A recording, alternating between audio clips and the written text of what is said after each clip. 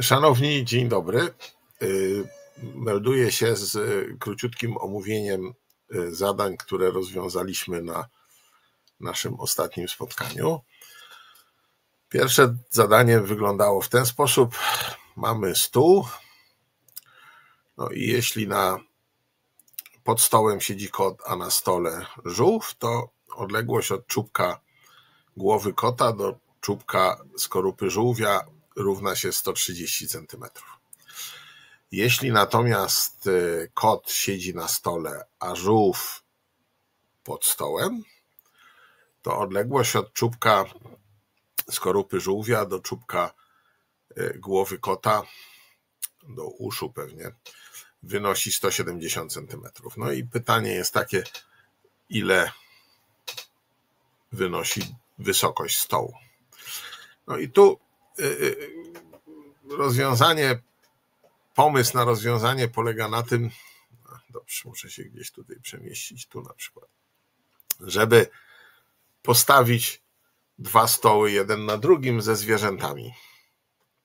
No i teraz tu mamy kota na dole, na stole siedzi żółw, a potem y, jest drugi stół i na tym drugim stole y, siedzi kot. No i oczywiście znowu jest tak, że odległość stąd dotąd to 170 cm, a odległość stąd dotąd to 130 cm, czyli razem odległość od czubka głowy kota siedzącego na tym drugim stole do czubka głowy kota siedzącego pod pierwszym stołem równa się 300 centymetrów. No i teraz to, co można, to, co można wykorzystać, to można zaobserwować, że gdybyśmy y, y, spędzili y, z góry tego kota, no to oczywiście odległość by się zmniejszyła prawda? od czubka głowy tego kota, do, albo inaczej mówiąc, jeżeli spędzilibyśmy z góry tego kota i jednocześnie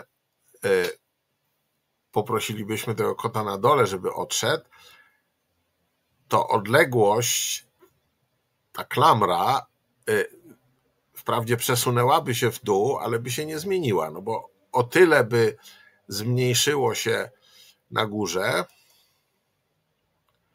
o tyle by się zmniejszyła y, y, na górze, o ile jakby wzrosłaby na dole.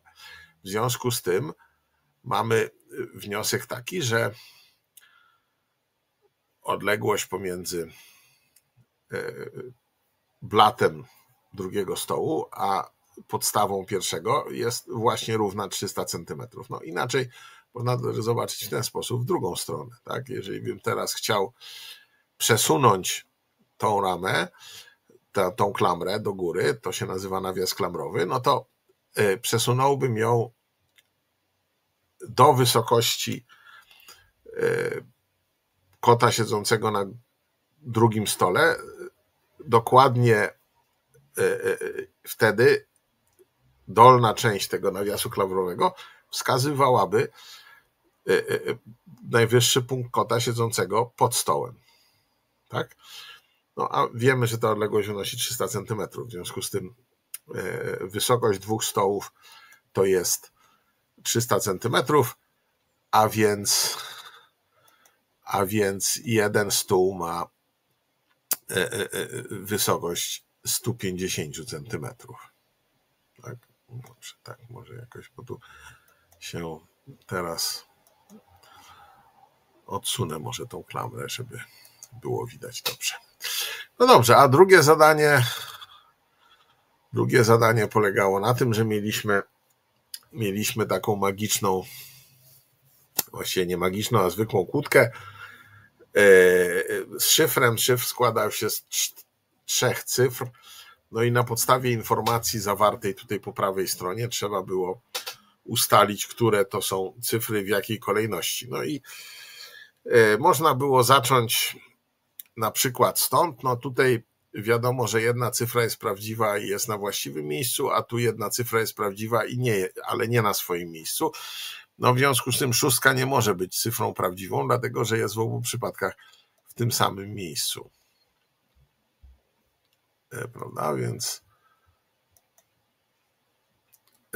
wszystkie szóstki możemy już z góry wyeliminować. To nam może zająć trochę czasu, ale damy radę. Mm, nie ma już żadnej innej szóstki, tak? Dobrze.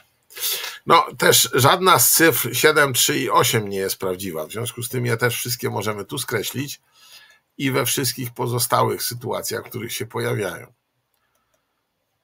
Gdzie tu się pojawia?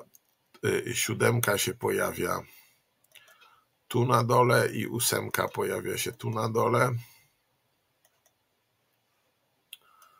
Tak, i jeszcze ósemka się pojawia na górze.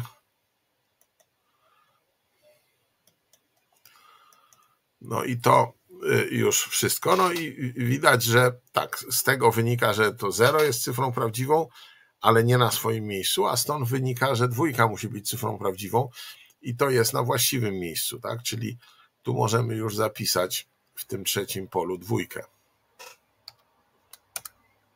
OK. Przesunę może, żeby było ładniej. OK. Dobrze, no to dwójkę mamy. Teraz dwie cyfry są tutaj prawdziwe, ale nie na swoich miejscach. No dobrze, dwójka jest rzeczywiście nie na swoim miejscu. I zero też jest nie na swoim miejscu. No, zero nie może być na miejscu dwójki tutaj, bo to miejsce już jest zajęte, czyli to miejsce zera e, nie jest e, e, dobrze dobrane. Notabene stąd wiemy, że drugą cyfrą jest, jedną z tych trzech cyfr jest zero. A więc wiedząc to i wiedząc to, wiemy, że tutaj na pierwszym miejscu musi być zero.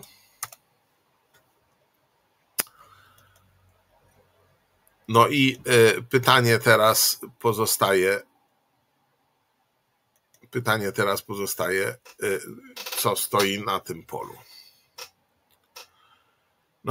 Może to być, e, stąd wynika czwórka albo jedynka, ale gdyby to była jedynka, to stałaby jedyne miejsce, które pozostało jest to środkowe, czyli tu stałaby na swoim miejscu, a ta cyfra stoi nie na swoim miejscu, więc musi to być czwórka stojąca tutaj. No i szyfr jest 042. E, e, Jak zresztą w zasadzie wszyscy do tego bardzo sprawnie doszli. Dziękuję bardzo i do zobaczenia.